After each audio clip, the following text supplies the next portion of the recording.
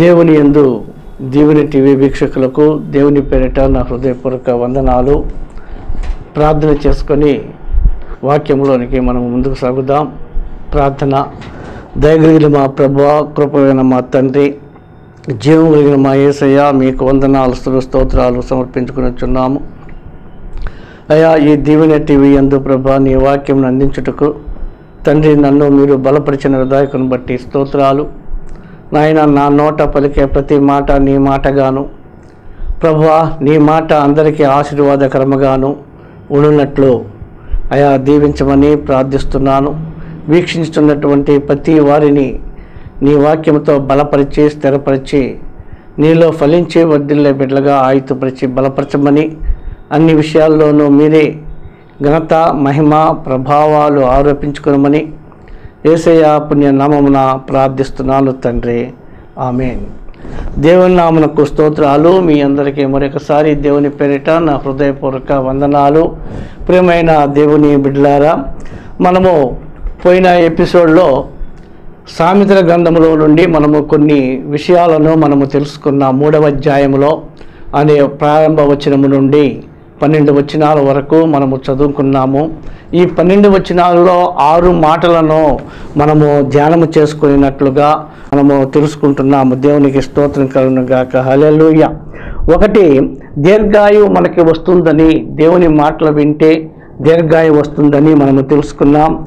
అలాగే ప్రియమైన దేవుని బిడ్డలారా దైన సత్యములో విడిపోకుండా ఉంటే వాటిని కంఠభూషణముగా ధరించుకుంటే మరి మనము దేవుని దయ్యందును మనుషుల దయ్యందును మనము దీవించబడతామని మనము తెలుసుకుంటున్నాము. అలాగే ప్రియమైన దేవుని బిడ్డలారా మన స్వబుద్ధిని ఆధారం చేసుకోకుండా దేవుని బుద్ధికి మనము మనము అప్పజెప్పినట్లయితే దేవుడు మన త్రోవలను ఆయన సరళము చేస్తాడని ఆయన మనలను బలపరుస్తాడని మనము తెలుసుకున్నాము. దేవునికి స్తోత్రములు.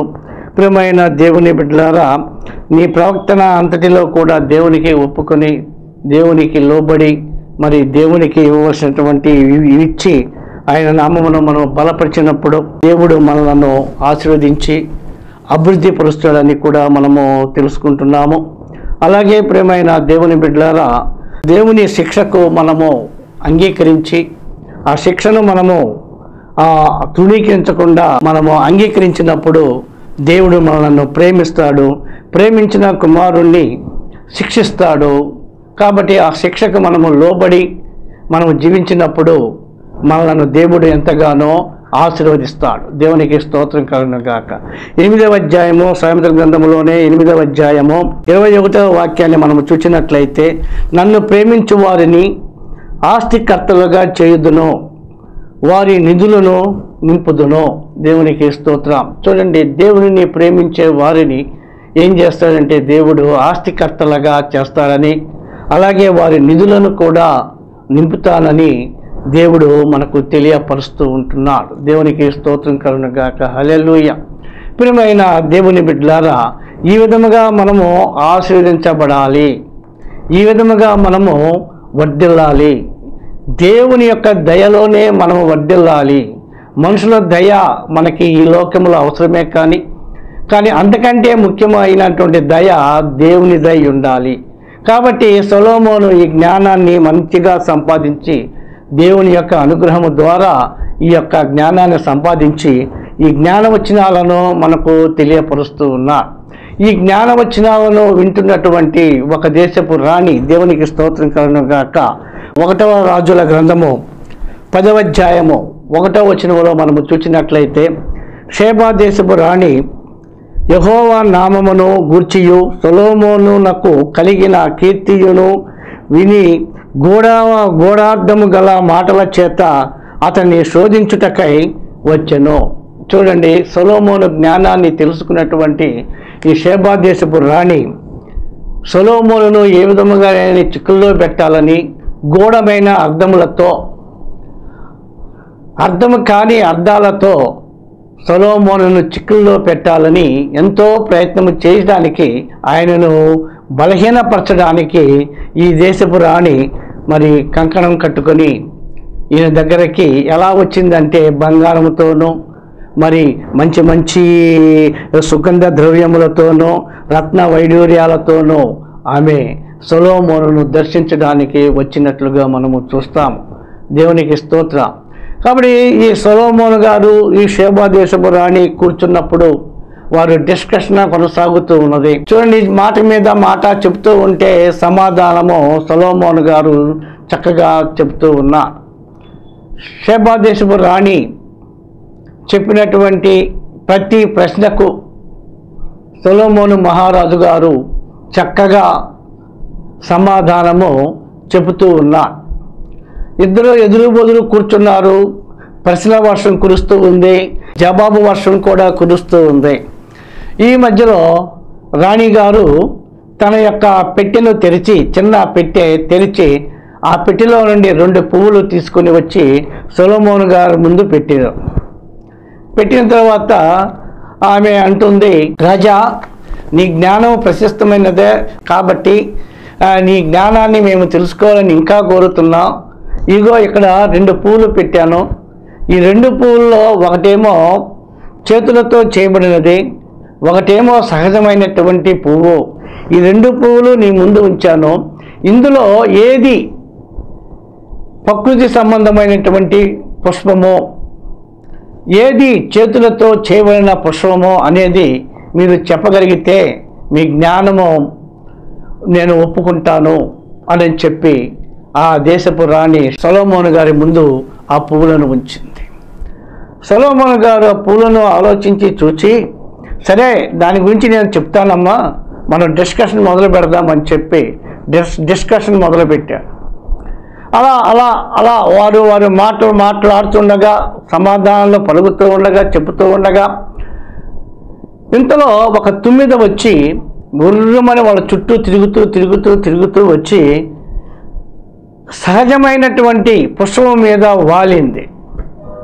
సహజమైనటువంటి పుష్పం మీద వాలినప్పుడు సొలోమోన గారు ఆ మాటలు ఆపివేసి ఇదిగో అండి నిజమైన ప్రకృతి సంబంధమైన పుష్పము అని చెప్పి పట్టుకొని తీసి ఆమె చేతికి ఇచ్చాడు. దేవునికి స్తోత్రం కలనుగాక రాజా రెండు పుష్పాలు ఒకలాగే ఉన్నాయి. మరి నువ్వు ఎలా కనిపెట్టగలిగావు? అనని రాజుని అడిగినప్పుడు సొలోమోనుని అడిగినప్పుడు సొలోమోను చెప్పిన సమాధానం ఏమిటి అంటే ప్రకృతి సంబంధమైనటువంటి పుష్పములో మకరందము ఉంటుంది. మనుషులతో చేయబడినటువంటి పుష్పములో మకరందము ఉండదు. కాబట్టి మకరందములో ఆశించినటువంటి తుమ్మిద వచ్చి ఆ పుష్పం మీద వాలగా ఆ అందులోని మకరందాన్ని అది తీసుకోవడానికి ప్రయత్నం చేయగా నేను మీతో ఈ పుష్పమని నేను చెప్పగలిగాను అని చెప్పినప్పుడు రాజా నీ జ్ఞానము ప్రశంసదగినదే నీవు జ్ఞానవంతుడివే. అయితే ఇంత జ్ఞానం నీకు ఎక్కడి నుండి వచ్చింది? అని ఆమె ఇంకా లోతుకు వెళ్ళినప్పుడు సొలోమోను గారు చెప్తున్నాడు. దేవునికి స్తోత్రం కలుగునుగాక. ప్రియమైన దేవుని బిడ్డారా రాజుల గ్రంథము ఐదో వచనాన్ని మనం చదువు మూడవ అధ్యాయము ఐదో వచనాన్ని నేను చదువుతాను. దేవునికి స్తోత్రం కలుగునుగాక. హలెలుయ గిబియోనులో యహోవా రాత్రి వేళ స్వప్నమందు సొలోమోనునకు ప్రత్యక్షమై నేను నీకు దేని నిచ్చుట నీకిష్టమో దాని నడుగుమని దేవుడు అతనితో సెలవీయగా. దేవునికి స్తోత్రములు.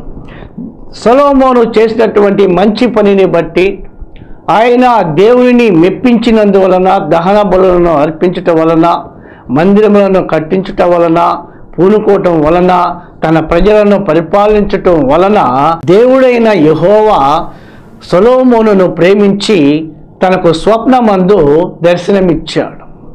ఆ దర్శనములో దేవుడు మాట్లాడుతున్నాడు సొలోమోను నీవు చేసిన మంచి కార్యాలను బట్టి నేను సంతోషిస్తూ ఉన్నాను. నీకు ఏది అవసరమో ఏది అక్కడ కావా ఉన్నదో ఏది కావాలో ఏదైనా నువ్వు అడుగు నేను నీకు ఇస్తాను అని చెప్పి దేవుడైన యహోవా గారు సొలోమోనుతో చెప్పినప్పుడు సొలోమోను చెప్తున్న సమాధానం ఏమిటంటే తండ్రి నా తండ్రి సింహాసనంలో నాకు ఇచ్చావు నా తండ్రి పరిపాలించే ప్రజలను నాకు ఇచ్చావు నా తండ్రి రాజ్యాన్ని మీరు నాకు ఇచ్చారు నన్ను గొప్పవాడిగా చేశారు రాజుగా చేశారు ఇంతకంటే నాకేం కావాలి? ఎందుకంటే నాకేం కావాలి? నాకు అన్నీ ఉన్నాయి. మీరే ఇచ్చారు అన్నీ కూడా. నాకు కావాల్సింది ఏమున్నది? నాకు కావాల్సింది ఒకటే ఉన్నదయ్యా. నీ ప్రజలను పరిపాలించగలిగినటువంటి సామర్థ్యము నాకు లేదు. నీ జనాంగాన్ని పరిపాలించడానికి న్యాయము తీర్చడానికి నేను సామర్థ్యవంతుడను కానయ్యా. అప్పుడు సొలోమోను అడుగుతున్నాడు చూడండి తొమ్మిదో వచ్చిన చదువుదాం. ఇంత గొప్పదైన నీ జనమునకు న్యాయము తీర్చగలవాడెవడు?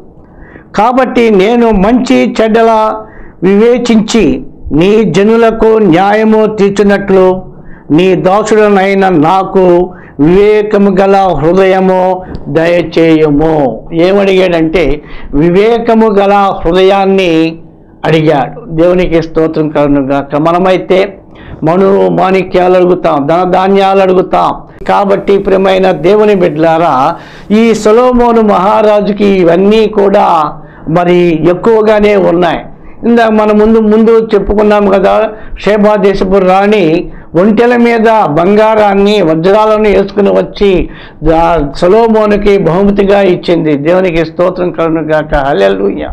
ప్రియమైన దేవుని బిడ్డలారా ఈ బహుమతి ప్రియమైన దేవుని బిడ్డలారా అంత బహుమతి ఆమె ఆయన పొందుకున్నప్పటికీ దాని మీద ఆయన ఆశపడలేదు. ధన వ్యామోహము ఆయన పడలేదు. కేవలము దేవుని యొక్క ప్రజలను పరిపాలించటానికి ఆయన జ్ఞానాన్ని కోరుకున్నాడు తెలివిని కోరుకున్నాడు వివేకమును వివేకము గల హృదయాన్ని కోరుకున్నాడు. ప్రియమైన దేవుని బిడ్డలారా తన ప్రజలను పరిపాలి ఎవరి ప్రజలు? దేవుని ప్రజలను పరిపాలించడానికి కావలసిన జ్ఞానాన్ని ఆయన కోరుకున్నట్లుగా మనము ఇక్కడ చూస్తూ ఉన్నాము దేవునికి స్తోత్రములు. చూడండి ఎంత ఆశ్చర్యము. వివేకము గల హృదయాన్ని కోరుకున్నాడు. ధనాన్ని కోరలేదు. రాజుల ప్రాణాన్ని కోరలేదు. మరి ఉన్న రాజ్యం కంటే ఇంకా ఎక్కువైన రాజ్యం విస్తరింప చేయాలని కోరుకోలేదు. కానీ ప్రియమైన దేవుని బిడ్డలారా పరిపాలన విషయంలో ఏ పొరపాట్లు రాకుండా తీర్పు విషయంలో ఎటువంటి నిందలు రాకుండా మరి జ్ఞానముతో నడుచుకోవడానికి సొలోమోను మహారాజు గారు ఏం చేశారు? జ్ఞానాన్ని కోరుకున్నాడు. ఏం కోరుకున్నాడు? వివేకము గల హృదయాన్ని కోరుకున్నాడు ప్రియమైన దేవుని బిడ్డలారు అందువలన దేవుడు తన కోరికను మన్నించి మంచి కోరిక నువ్వు కోరావయ్యా. నువ్వు రాజుల ప్రాణాన్ని అడగలేదు ధనాన్ని అడగలేదు ఏమీ అడగలేదు మరి ఉన్నతమైన స్థితిని అడగలేదు కానీ నువ్వు అడిగినది నా ప్రజలను పరిపాలించడానికి వివేకము గల హృదయాన్ని నీవు అడిగావు కాబట్టి దీనితో పాటు మీ కన్నీరు నేను ఇస్తానని చెప్పాడు. దేవునికి స్తోత్రం కలును గాక. అలెలుయ్య ప్రియమైన దేవుని బిడ్డలారా పదకొండవ వచ్చినాన్ని మనం చదువుకుందాం. దేవునికి స్తోత్రములో.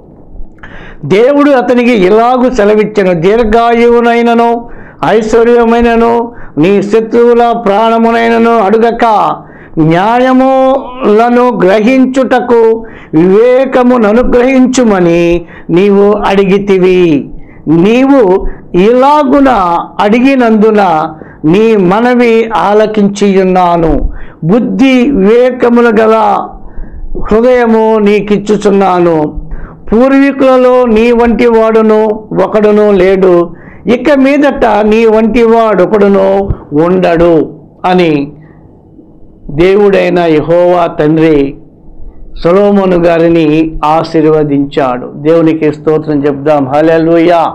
ఈ యొక్క విషయంలో మనము తెలుసుకుంటున్న అవసరమైందే అడగాలి కానీ అనవసరమైంది మనము దేవుని దగ్గర అడగకూడదు. వాక్యం సెలవిస్తుంది. అడుగుడి మీకు ఇవ్వబడును అని.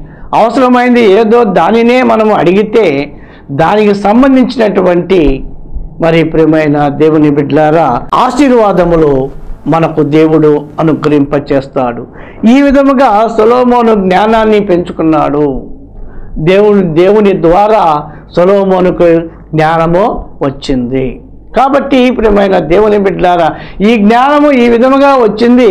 అయితే ఇది జ్ఞానము దేవుని నుండి వచ్చిన జ్ఞానమా అని మనం ఇక్కడ చూస్తాం. చూడండి ఇరవై ఎనిమిదో వచనములో అంతని అంతటి ఇస్రాయేల్ అందరూ రాజు తీర్పు తీర్చిన తీర్పును గూర్చి విని న్యాయము విచారించుట ఎందు రాజు దైవాజ్ఞను నొందిన వాడని గ్రహించి అందరికి అతనికి భయపడిరి. దేవునికి స్తోత్రం కరును గాక. రాజుకు ఉన్న జ్ఞానాన్ని బట్టి అందరూ కూడా ఏమయ్యారంటే భయపడ్డారు. ఎందుకు భయపడ్డారంటే ఈయన ఆ కళను పొందుకున్న తర్వాత దేవుని కళలో దేవుని ఆశీర్వాదాన్ని పొందుకున్న తర్వాత ఆయన సభ ఏర్పాటు చేశారు. ఆ సభలో ఇద్దరు స్త్రీలు ఏం చేశారంటే సభలోనికి వచ్చారు. ఒక కుమారుడిని తీసుకొని సభలోనికి వచ్చారు. ఇద్దరు స్త్రీలు కూడా ఇద్దరు కుమారులు కలిగినటువంటి వారే. అయితే వాళ్ళు పరుండినప్పుడు ఒకళ్ళు మొత్తులై ఒక కుమారుడి మీద పడగా ఆమె కుమారుడు చనిపోయాడు.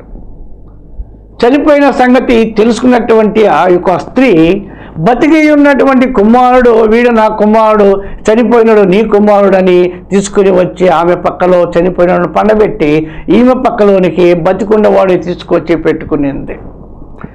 తల్లి ప్రేమ అందరికీ తెలుసు దేవునికి స్తోత్రం కలను గాక.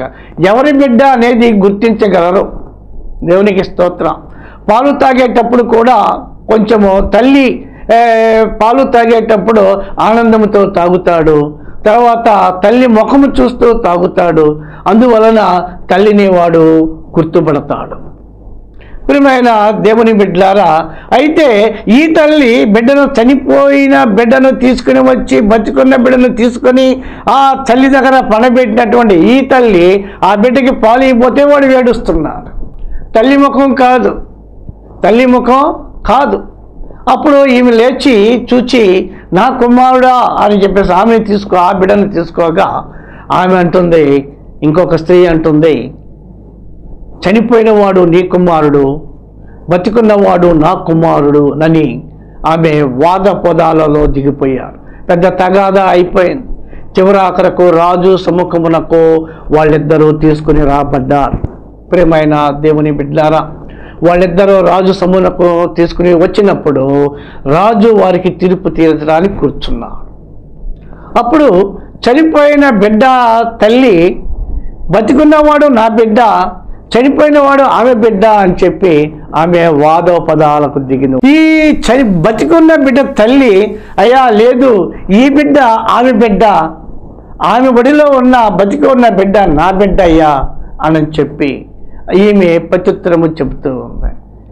వీళ్ళిద్దరికీ ఈ విధంగా డిస్కషన్ జరుగుతూ ఉండగా సొలోమోను గారు వీరి పరిష్కారం చేయడానికి వీరికి న్యాయం చేయడానికి ఆలోచనలో పడ్డా ఆలోచించి అక్కడ ఉన్నటువంటి సేనాధిపతిని పిలిచి ఒక కత్తి తీసుకుని రండి అని చెప్పినప్పుడు ఆయన వెళ్ళి కత్తి తీసుకొని రాజు దగ్గర ఉంచగా ఈ కత్తితో ఆ బిడ్డను రెండు భాగాలుగా చేసి ఒకరికి ఒక భాగము ఒకరికి ఒక భాగము ఇవ్వండి అని చెప్పినప్పుడు చనిపోయిన బిడ్డ తల్లి అయ్యా రెండు భాగాలు చేసి నాకు ఒక భాగం ఆ బిడ్డకు ఆమెకు ఒక భాగం ఇచ్చేయి అని చెబితే బతికి ఉన్న బిడ్డ తల్లి అయ్యా వద్దు వాడు బతికే ఉండాలి చనిపోకూడదు. నా దగ్గర ఉన్న ఒకటే ఆమె దగ్గర ఉన్న ఒకటే. నా కొడుకు బతికుంటే చాలు. ఆ చంపద్దయ్యా ఆమెకే ఇచ్చేయండి అని చెప్పి ఈ యొక్క బతికి ఉన్న బిడ్డ తల్లి సమాధానము చెప్పగా దేవుడైనటువంటి యహోవా సొలోమోనికి ఇచ్చిన జ్ఞానమును బట్టి ఈ తీర్పు తీర్చడం జరిగింది. దేవునికి స్తోత్రం కలనుగాక అప్పుడు సొలోమోను మహారాజు గారు అంటున్నారు బతికి ఉన్న బిడ్డ బతికి ఉండాలని కోరుకుంటున్న ఆమె ఈ బిడ్డ తల్లి. కాబట్టి ఈ బిడ్డను ఆ తల్లికి ఇచ్చేయండి. ఈమెను శిక్షకు తీసుకుని వెళ్ళిపోండి అని చెప్పి ఆమెను శిక్ష విధించాడు. దేవునికి స్తోత్రం కలను ప్రియమైన దేవుని బిడ్డలారా ఈ యొక్క తీర్పును చూచినటువంటి ప్రజలు ఇక్కడ చెప్తున్నాడు కదా ఇరవై ఏడో వాక్యంలో చదువుదా అందుకు రాజు బతికియున్న బిడ్డను ఏమాత్రమును చంపక మొదటి దాని కియుడి దాని తల్లి అదే అని చెప్పి తీర్పు తీర్చెను.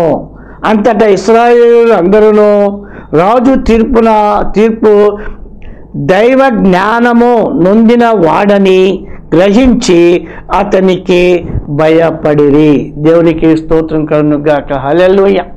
దేవుని జ్ఞానాన్ని పొందుకున్నటువంటి వారు ఈ విధముగానే చేస్తారని దేవుని వాక్యం మనకు తేట తెల్లగా తెలియపరచబడుతూ ఉన్నది. దేవునికి స్తోత్రం కనుగాక హల్లెలూయా. పవసీలకు రాసిన పత్రికలో రెండు మూడవ వచనాన్ని మనము చూద్దాము. బుద్ధి జ్ఞానములు సర్వ సంపదలు ఆయన ఎందే గుప్తములై ఉన్నవి అని పరిశుద్ధ గ్రంథములో మనము తేట తెల్లగా తెలుసుకొనుచున్నాము.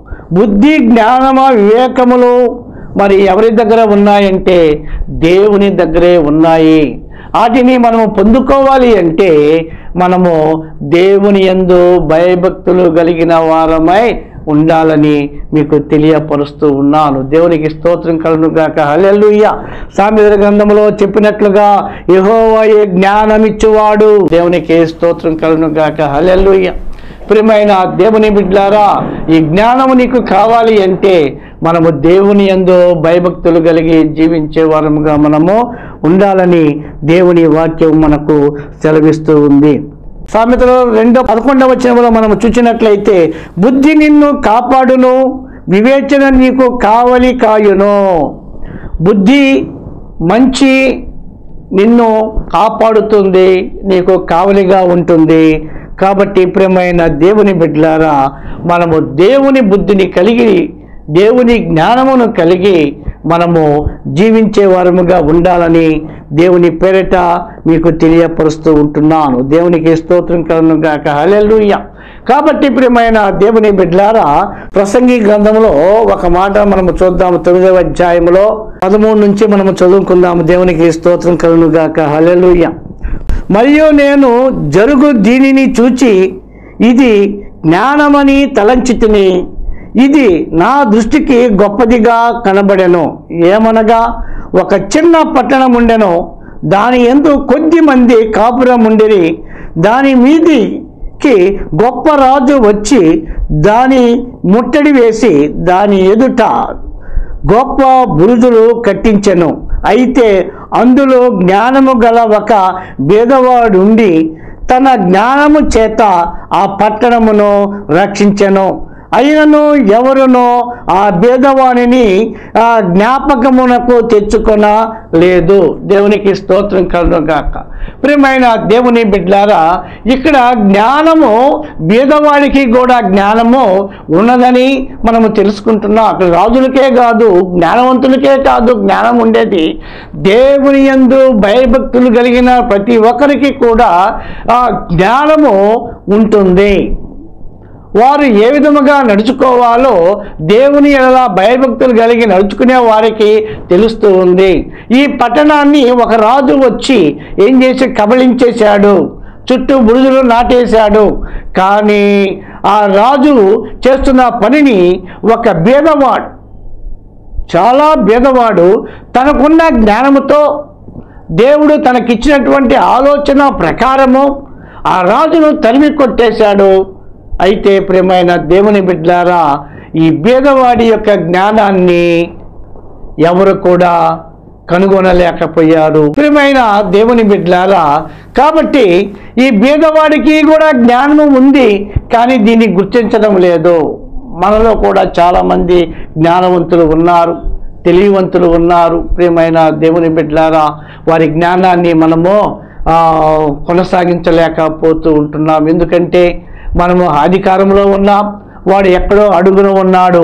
కాబట్టి వాడు చెప్పిన జ్ఞాన మాటలను మా గొప్పవారు తీసుకొని ఏం చేస్తున్నారంటే వాడిని అణగదొక్కుతూ ఉన్నారు. ప్రేమైన దేవుని బిడ్లారా ఆ వీళ్ళేమో ఆ మాటలను బట్టి వీళ్ళు గొప్పవారుగా పరిగణించబడుతూ ఉన్నారు. కారణం ఏమిటి అంటే ప్రేమైన దేవుని బిడ్లారా భేదవారు కావటమే. ఆ భేదవాణిని వాళ్ళు జ్ఞాపకం చేసుకోలేదు చూడండి పట్టణానికి వచ్చింది. ప్రియమైన దేవుని బిడ్డారా ఆ ఆపద. ఆ ఆపద నుండి ఈ యొక్క భేదవాడు దేవుడిచ్చిన జ్ఞానముతో ఆ ఆపదను తొలగించేశాడు తీసివేశాడు జయించేశాడు. కానీ ప్రియమైన దేవుని బిడ్డారా ఆ భేదవాడిని ఎవరు కూడా లెక్క చేయటం లేదు. అందుకని చిన్న చిన్న సేవకులు ఉన్నారు వాళ్ళకి కూడా జ్ఞానం ఉంది. తెలివి ఉంది వివేకం ఉంది కానీ వాళ్ళని నడిపించే శక్తి దేవుని దగ్గర ఉన్నప్పటికీ కూడా ఈ లోకంలో ఉన్న గొప్ప గొప్ప వారు అణగదొక్కుతూ వారి కింద ఉంచుకొని వాళ్ళను పైకి రానివ్వకుండా దేవునికి స్తోత్రములు కలను గాక. వాళ్ళ చేతి కిందనే ఉంచుకొని వాళ్ళ జ్ఞానాన్ని వీళ్ళు మార్చుకొని అభివృద్ధి చెందుతూ ఉన్నట్లుగా మనకి కొన్ని కొన్ని విషయాలలో రూఢి అవుతూ ఉంటున్నది. దేవునికి స్తోత్రం కలను గాక. హల్లెలూయా. ఒక వ్యక్తి ఒక కథను రాస్తే కథను రాస్తే ఆ కథ బీదవాడు చూసుకుని వస్తే ఆ కథను ఏం చేస్తారంటే దాన్ని డబ్బిచ్చి కొనుక్కొని ఆ కథ వాడు రాసినట్లుగా మరి ప్రయోజనంలోనికి తీసుకుని వస్తారు. ఈ విషయాలు చాలా చోట్ల జరుగుతూ ఉన్నాయి. అందుకనే బీదవాడి జ్ఞానాన్ని ఎవరు కూడా గుర్తించటం లేదు. కాబట్టి మనము దేవుని యందు భయభక్తులు గల వారమై జ్ఞానము వివేచనములు కలిగిన వారమై ఉండి క్రీస్తు ప్రభువులో ముందుకు సాగిపోయేవారుగా ఉండాలని ప్రభు పేరిట మీకు మనవి చేస్తున్నాను. దేవుడు ఈ మాటలను దీవించి ఆశ్రదించునుగాక ప్రార్థన చేసుకుందాం. సకల ఆశీర్వాదములకు కారణభూతుడైన మా దేవా మీకు వందనాలు చేయించుకుంటున్నాం. నాయన ఇదిగో తండ్రి సామెతల గ్రంథంలో నుండి ప్రభు కొన్ని మాటలను మేము తెలుసుకోవడానికి సహాయం చేశాం. సులభమైన జ్ఞానాన్ని ప్రభా మేము ప్రశంసించుకోవడానికి సహాయం చేశాం అందుకు మీకు వందనాలు. అయ్యా జ్ఞానము అందరికీ ఉంటుందని కూడా ప్రభువా అయ్యా ఇదిగో తండ్రి ప్రసంగి గ్రంథములో ప్రభువా రాశాడు తండ్రి మీకు స్తోత్రాలు. భేదవాడి జ్ఞానం అయితే ప్రభువా ప్రశంసనీయముగా ఉండదని ప్రభా తెలియపర తెలియపరచబడింది తండ్రి మీకు స్తోత్రాలు. అయినా కానీ ప్రభు వాడు కూడా జ్ఞానవంతుడే అని ఏ రోజున గుర్తించుతారో వాడు ధన్యులని ప్రభువా సెలవిస్తున్నా. అందుకు మీకు వందనాలు. చేయించుకుంటున్నాం. ఈ వాక్యం విన్న ప్రతి బిడను మీరు దీవించండి. అందరూ జ్ఞానవంతులుగా పరిగణించబడడానికి యహో ఎందు భయభక్తులు కలిగి జీవించచ్చు. ఆయన కృపను పొందుకునే వారముగా ముందుకు సాగిపోయే భాగ్యమును మాకు దయచేయమని అన్ని విషయాల్లో మీరే తోడుగా నడిపించమని ఏసయ్య పేరట అడిగి వేడుకుంటున్నాను తండ్రి. ఆమె తండ్రి అయిన దేవుని కృప పరిశుద్ధాత్మ ఆదరణ యేసుక్రీస్తు అన్యున సహవాసము సమాధానము కూడి వచ్చిన విలుచున్న మీ అందరికీ. అన్ని విషయాల్లో దేవుని కృప మనందరికీ తోడైండును గాక ఆమెన్.